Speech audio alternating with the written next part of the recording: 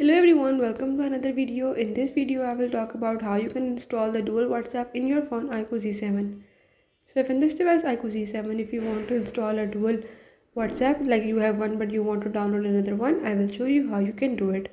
Before I move to the video, if you are watching it for the first time, don't forget to subscribe my channel. Now let's watch the video and learn how you can do it.